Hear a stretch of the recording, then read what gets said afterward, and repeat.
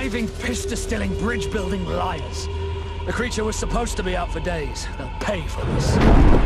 What the hell manner of cargo are you transporting? Help! We need ropes! We must contain it! Help! Come now, let's lend them a hand.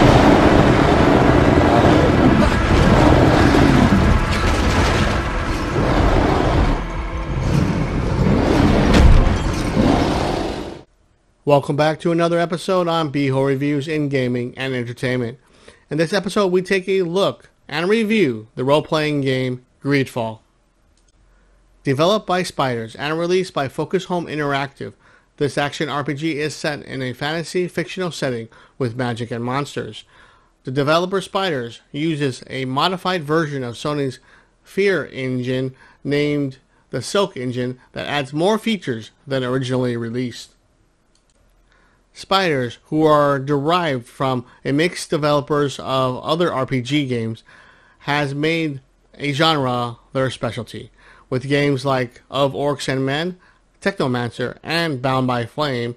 The RPGs always gave an alternative look to fantasy RPGs that seemed to be reminded of Bioware's games with less polish. Budget being a huge part of the studio, I'm always amazed to see what they're able to produce without the backing of something much larger. Looking at Greedfall, I'm once again surprised on what they are able to accomplish with a modified dated engine from Sony's PlayStation 3 era.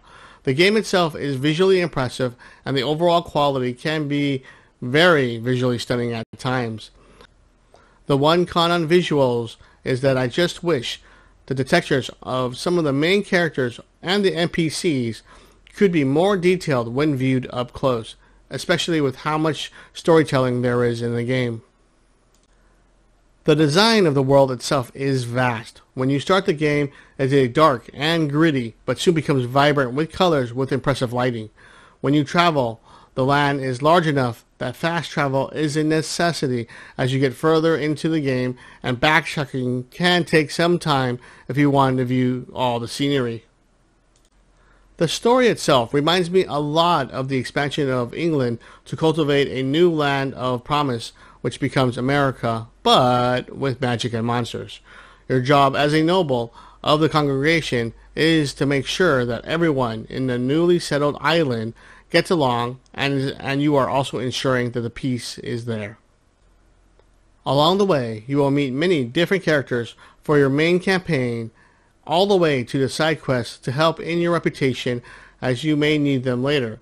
How you conduct yourself is how your companions and the people view you as well.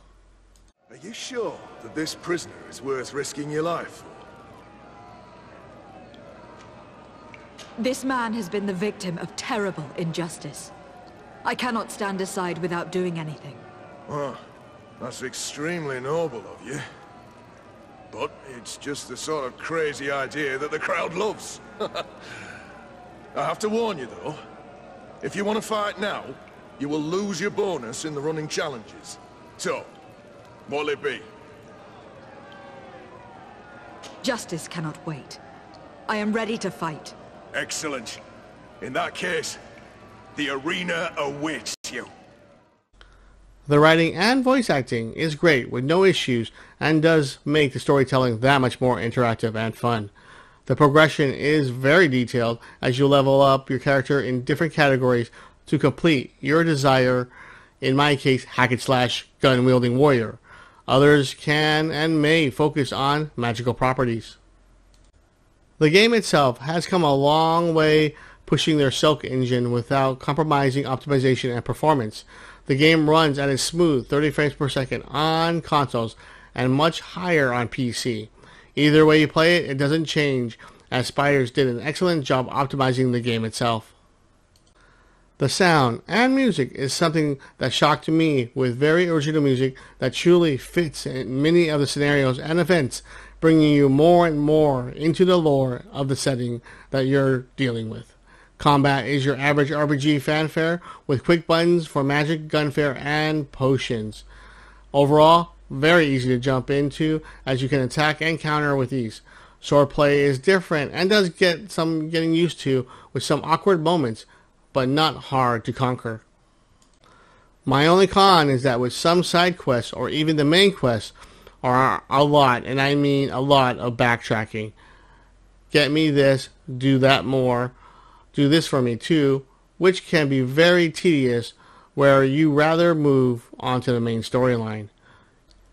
You do, however, feel a sense of completion when it's done, but getting there may take some patience, especially when you need to wait in game days to get to the action. Overall, Greedfall gets an 8.0 out of 10 for its wonderful visual take on a new fantasy land to explore and conquer.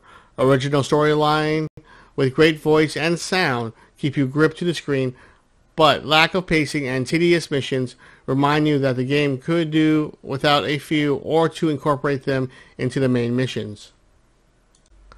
That's it for me on this episode on Beho Reviews. Please like or subscribe if you like my videos. Beho out and Greg, take us out of here. Why are you doing this?